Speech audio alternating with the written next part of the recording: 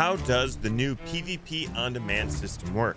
On your ship, you will vote for either Guardians of Fortune or Servants of Flame using the new Hourglass of Fate. Then either go about your business and be on the defense, or if you prefer the offense, vote on the war map, head to open water, your ship will dive beneath the waves, and the game will match you with an opponent. Once someone is found either on the offense or the defense, you will face off with your enemy with a map boundary set in place so you cannot run from the fight. If you get too far out of bounds, your hourglass will begin to crack and your ship will explode.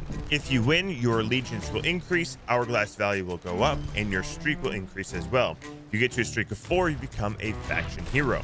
To leave the fight and collect your rewards, visit the nearest outpost, vote down your hourglass at the Athena table or Reaper table.